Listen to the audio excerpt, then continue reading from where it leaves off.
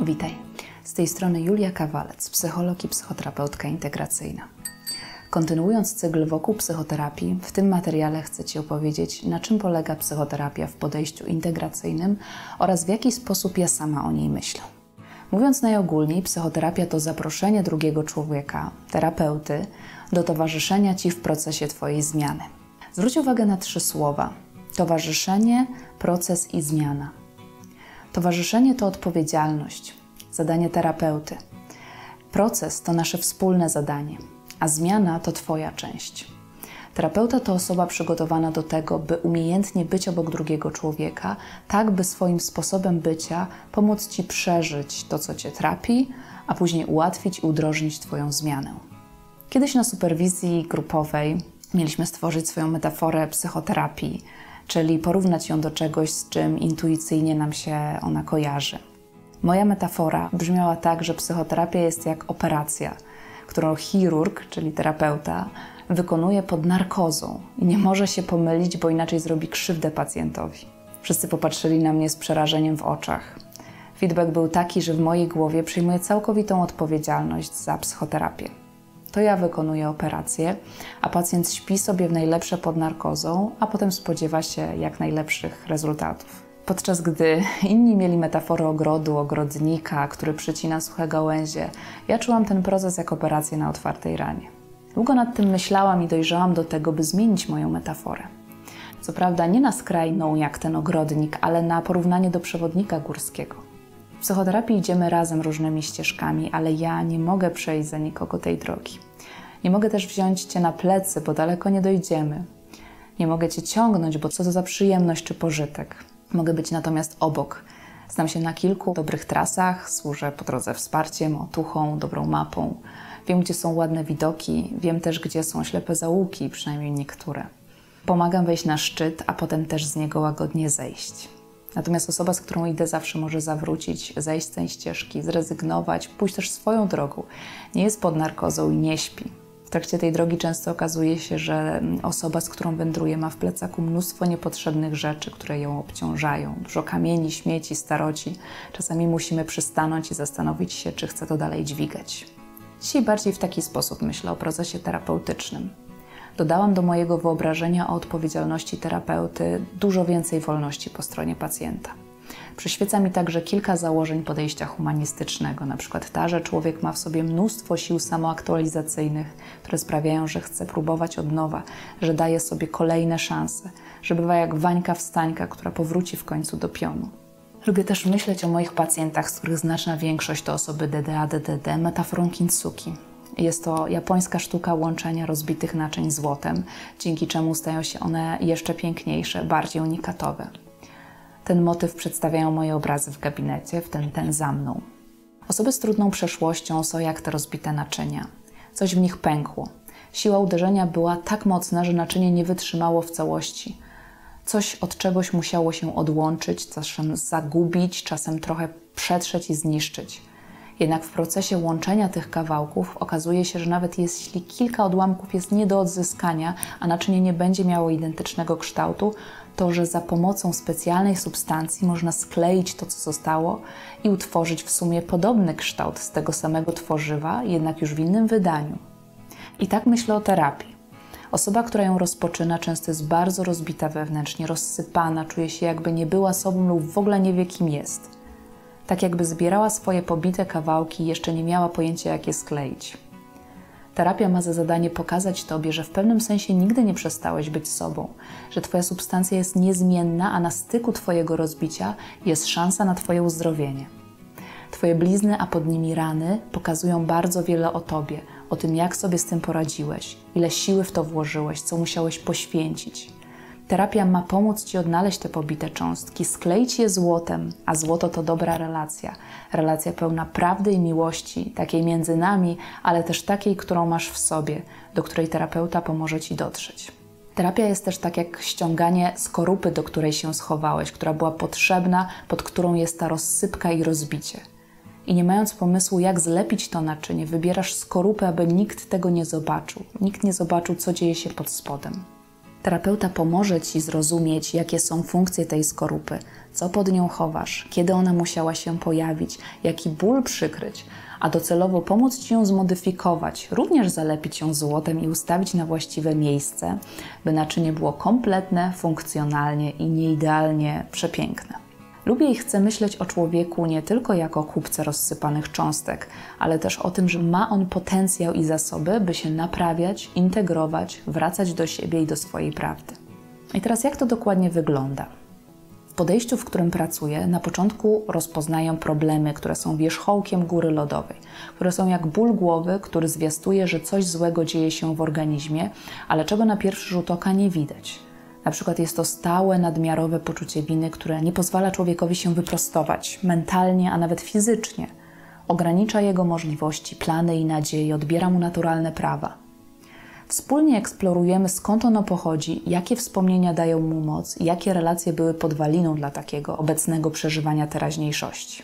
Centralnym pojęciem w moim podejściu jest słowo schemat – czyli zbiór sztywnych, schematycznych tendencji emocjonalnych, mentalnych i behawioralnych, które powstały dawno temu w dobrej intencji, by przykryć ból i zarządzić nim tak, by przetrwać. Chcemy wspólnie zrozumieć istotę tego schematu oraz bólu, który kryje. Często posługuję się tu metaforą wewnętrznego dziecka, bo to ono chowa ból i zostało przykryte schematami. Można też powiedzieć maskami, by więcej nie poczuć się w takiej rozsypce jak kiedyś. Terapia bardzo szanuje i delikatnie obchodzi się ze skorupką schematu. Nie chodzi o to, by ją siłą zerwać i szybko dostać się do rany. To tak, jakby rozdrapać ranę, oderwać strupa, w ten sposób powrócimy za chwilę do identycznej sytuacji. Chcemy zrozumieć dobrze, a wręcz podziękować schematom, że się w porę pojawiły, że uratowały Twoje życie psychiczne przed rozpadem, że chroniły i broniły jak mogły. Uświadomić sobie, że dzisiaj ograniczają Twoje życie, każą Ci je przeżywać w pewnej miniaturze i często z perspektywy traumatycznej przeszłości, nie pozwalając dostrzegać nowych możliwości, otwartych drzwi i wyciągniętych rąk. Chcemy powolutku dotknąć tego wewnętrznego dziecka, zobaczyć je, zrozumieć, czasem pocieszyć, czasem ukoić, czasem po prostu przeżyć wszystko, czego wtedy nie mogło w pełni doświadczyć, bo było to zbyt niebezpieczne. Zaczyna się transformacja. Wyobraź sobie, jak inaczej Twoje życie mogłoby się potoczyć, gdybyś w dzieciństwie mógł doświadczyć całej swojej emocjonalności w obecności kogoś, kto jest Ci życzliwy i bardzo zainteresowany Twoim rozwojem i szczęściem. To właśnie dzieje się symbolicznie w gabinecie terapeuty. Oczywiście nigdy już nie będziesz dzieckiem i tamta chwila nigdy się nie powtórzy. Wiele strat należy odżałować i odreagować, a mimo wszystko to i aż to ma leczącą moc. Taka transformacja wewnętrzna to nie tylko dodanie Twojemu dziecku zasobów, pokazanie mu nowej perspektywy czy symboliczne wyciągnięcie z okrutnych okoliczności. To też uświadomienie sobie, jakimi iluzjami wciąż żyjemy, na co nieustannie liczymy, czego już nigdy nie otrzymamy, na przykład bezwarunkowej miłości rodzica, czego już nie odzyskamy, na przykład utraconego raju dzieciństwa i jego przywilejów. To zobaczenie przejawów dziecięcych pragnień w dorosłym życiu i prób walki o to, co już niemożliwe i być może odpuszczenie, uznanie strat, uznanie ograniczeń i braku kontroli. To droga pełna wyzwań, dlatego tak ważna w terapii jest nasza relacja. Relacja dwójki nieidealnych ludzi, w której mimo to może zaistnieć coś wyjątkowego, coś pełnego zaufania, coś, co niektórzy terapeuci nazywają korektywnym doświadczeniem rodzicielskim. To znaczy doświadczeniem, które może się nadpisać nad tym, co kiedyś przeżywałeś. Na przykład, gdy płakałeś, twój rodzic pokazywał pełną wzgardy twarz. Gdy odważasz się zapłakać przy terapeucie, widzisz twarz pełną współczucia, przyjęcia i łączności z tobą. Dzięki temu zdobywasz nową perspektywę o sobie i innych. Ty nie jesteś do odrzucenia i nie do kochania, to tylko niektórzy ludzie cię odrzucili. Nie wszyscy ludzie są pełni pogardy, tylko niektórzy. Są ludzie, którzy reagują zupełnie inaczej. Istnieje świat inny niż taki jak mój rodzinny dom. Istnieje też ja, którego da się przyjąć, pokochać w przejawach wspaniałości i ludzkiej słabości. Nawet jeśli byłam, byłem bity, nie oznacza to automatycznie, że jestem kimś, kogo można bić. Nawet jeśli nie byłem kochany, nie oznacza to, że nie jestem kimś nie do kochania. Terapeuta często ma wiarę większą od Twojej w to, że cierpienie, przed którym uciekałeś, a z którym spotykasz się w gabinecie, nie zabijecie, bo przeżyjesz je teraz inaczej, w dobrej relacji. Dodatkowo wierzy, że cierpienie jest częścią życia. Nie da się go wymazać, ale to często dzięki niemu odkrywamy właśnie siebie na nowo, przekraczamy swoje kolejne granice, dowiadujemy się czegoś nowego o naturze ludzkiego losu. Po najgłębszej pracy wewnętrznej powracamy znów do teraźniejszości, aby teraz spojrzeć na nią inaczej i zacząć budować swój nowy psychologiczny, wewnętrzny dom. Już nie oparty o stare skorupy, ale o Twoje wartości, czyli to, co dla Ciebie ważne, o Twoją autentyczność i wyjątkowość, o Twoją wewnętrzną prawdę i powołanie. Kształtujemy umiejętności służące temu, by nie zawracać na stare drogi, aby przecierać nowe ścieżki Daj mi znać w komentarzu, co myślisz o takiej drodze, o takim myśleniu, o naszym spotkaniu terapeutycznym. Jestem ciekawa Twoich refleksji. Teraz chcę Ci jeszcze opowiedzieć, co najogólniej jest celem takich głębokich spotkań, co ja jako terapeuta mam w głowie i na co mogę mieć wraz z Tobą nadzieję. Nasze wspólne cele to po pierwsze głębokie zrozumienie siebie. To jest fundament, jaki powinien się wydarzyć, wybudować w ramach naszej relacji. Z tego weźmie początek każda Twoja zmiana. Przestrzeń terapeutyczna jest wolna od ocen, etykiet i prostych sądów. My chcemy wspólnie zrozumieć, dlaczego tak, a nie inaczej się zachowujesz, przeżywasz i myślisz. Zrozumieć początki Twojego życia, Twoje pierwsze kształty relacji, najważniejsze reakcje, z jakimi się spotkałeś, stawiając swoje pierwsze kroki na świecie i jak to na Ciebie wpływało. Jakie wyciągałeś wnioski, jaki zapis utworzył się w Twojej psychice. Chcemy zrozumieć, na ile Twój świat z dziecięcych lat pozwalał Tobie na bycie sobą, na Twoje osobiste poszukiwania, a na ile bardzo szybko musiałeś włożyć obronne maski i zacząć naruszać swoją naturę, by raczej posłużyć w czymś swojej rodzinie. Chcemy zrozumieć te maski skorupki i powiedzieć, że one są też częścią Ciebie, częścią zmęczoną, zniekształconą, wysłużoną, ale jednak Twoją, którą w ramach terapii możesz przemienić w coś, co służy Tobie. Dalej, odzyskanie siebie, odkrycie, kim naprawdę jesteś i wspieranie tej prawdy, a nie masek. Mamy nadzieję na odkrywanie stopniowo Twojej prawdy i natury. Nie chodzi tu o odszukanie czegoś, o czym nie masz pojęcia. Twoja natura, przez to rozumiem Twój temperament, cielesność, emocjonalność, marzenia, intuicję, powołanie, jest zawsze przy Tobie. Nie budujemy jej od zera. Chcemy ją odsłonić i zacząć w nią inwestować, czyli rozwijać ją, a nie bardziej polerować maski, czyli odtwarzać Twoje stare, utarte ścieżki. Dalej, bolesne dorastanie to porzucanie dziecięcych pragnień i iluzji. Utraciwszy swoje dzieciństwo ze względu na dysfunkcję rodziny, możesz cały czas marzyć o idealnym domu, bezwarunkowej miłości, o uzyskaniu od rodziców tego, czego kiedyś nie mogli ci dać, jak opieka, wsparcie, korekta, prowadzenie. Szukasz tego w swoim dorosłym świecie. Chodzisz jak głodne dziecko w poszukiwaniu mamy, która zrekompensuje ci to, co stracone. Jak bardzo rozczarowujesz się ciągle, że nikt tego już dla ciebie nie ma, że stale doświadczasz podobnych zawodów. Terapia ma szansę ci uświadomić, gdzie utykasz, jaką pętlę magicznie odtwarzasz, jakie błędne koła kręcisz. W spotkaniu terapeutycznym zrozumiesz i odżałujesz, że pewne rzeczy zostały bezpowrotnie i niesprawiedliwie utracone Możliwe, że wejdziesz na ścieżkę godzenia się z tym, czego nie dostałeś, porzucenia tych pragnień i zastąpienie ich realizowaniem dorosłych potrzeb, na które jest wiele szans w dorosłym życiu. Stawanie się dla siebie jak ten korektywny rodzic, jak najlepszy przyjaciel to kolejna rzecz. Często zanim poweźmiesz pracę nad sobą, masz do siebie negatywny stosunek. Traktujesz się jak złe dziecko, jak swojego najgorszego pracownika, służącego czy ofiarę. Terapia ma nadzieję uczyć Cię traktowania siebie wyjątkowo, podmiotowo, w pełni godności, patrzenia na siebie jak na cud, na zranione istnienie, za które masz pełną odpowiedzialność, tak jakby mieszkał w Tobie drugi człowiek, którym możesz się czule i po przyjacielsku zajmować, który robi co może, aby żyć dobrze. Kolejne to poszerzenie wachlarza reakcji, zachowań, by budować pełniejsze relacje.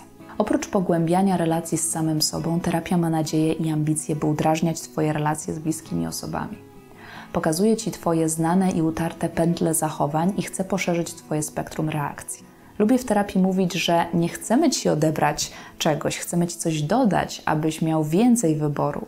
Na ogół ludzie reagują na to pozytywnie. Każdy jest przyzwyczajony, a wręcz przywiązany do swoich reakcji, ale nie pogardzi przyjęciem czegoś nowego, tak by czuć większą wolność, a nie przymus w reagowaniu. Dalej, mamy nadzieję zmienić Twoją narrację o sobie na bliższą prawdy, ale też na bardziej optymistyczną i dającą nadzieję. To jeden z moich ulubionych celów terapii. Wyobraź sobie, co by było, gdybyś przestał myśleć o sobie jako ofierze swojego losu, a zaczął spostrzegać siebie jako bohatera, który przeszedł od zarania swoich dziejów wiele bitew, na które nie był przygotowany, a jednak je przetrwał. Przyjął mnóstwo ciosów, a jednak go to nie zabiło i cudem zachował swoją wrażliwość. Co by było, gdybyś przestał myśleć, że jesteś niedołężny, niewłaściwy, od zawsze niekochany, a w zamian za to niezrozumiany, ale nie nie do zrozumienia, który był wyzwaniem dla swoich bliskich, z którym sobie nie poradzili? Jeśli nie myślałbyś, że pochodzisz z patologicznej rodziny, więc to o tobie świadczy, a że jesteś kimś, kto przerywa traumatyczny łańcuch pokoleniowy i chce zatrzymać i zneutralizować traumę na swoim pokoleniu. Gdybyś nie myślał, Jestem rozbitym naczyniem do wyrzucenia. Liczą się tylko ci, którzy byli na tyle silni i się nigdy nie rozpadli, lecz kimś, kto miał w sobie wyjątkowy dar wrażliwości i tkliwości i dlatego nie wytrzymał uderzenia, ale teraz chce uznać to w sobie i używać jako swojej złotej karty. Jak inaczej przeżywałbyś swoją teraźniejszość, myśląc o sobie w taki sposób? Sprawdź nawet teraz uczucia, które się w tobie budzą. Dalej chcemy zbudować bezpieczniejszą wizję świata i innych ludzi. Mamy trochę lat do przeżycia na tej ziemi i trudno jest tu żyć, gdy okulary, jakie nosimy, przedstawiają świat i ludzi pełnych grozy i niebezpieczeństw. Chcemy budować razem inny ogląd rzeczywistości, znajdować wspólnie dowody na to, że ten świat ma też do zaoferowania dużo dobra i przyczółków bezpieczeństwa i miłości, po to, abyś mógł się tu zakorzenić chociaż na trochę, a potem zacząć rosnąć, pączkować i wydawać owoce. To tyle na dzisiaj. Mam nadzieję, że przybliżyłam Ci, jak wygląda psychoterapia i czego możesz się w takiej pracy spodziewać. Jeśli czujesz się zachęcony i zainspirowany, daj mi znać w komentarzu. Dodatkowo, jeśli jesteś kobietą identyfikującą się z syndromem DDA-DDD, zapraszam Cię do mojej bezpłatnej grupy na Facebooku Odzyskać siebie, na której co poniedziałek odpowiadam na pytania społeczności i staram się udrażniać ścieżki ku odzyskiwaniu siebie i stawaniu się swoim najlepszym przyjacielem. Jestem też w trakcie budowania kursu online o tym, jak radzić sobie z nadmiarowym poczuciem winy i wstydu. Obserwuj mnie na Facebooku i tam będzie więcej informacji. Dodatkowo możesz też zasubskrybować ten kanał. Dziś dziękuję Ci za uwagę i do zobaczenia.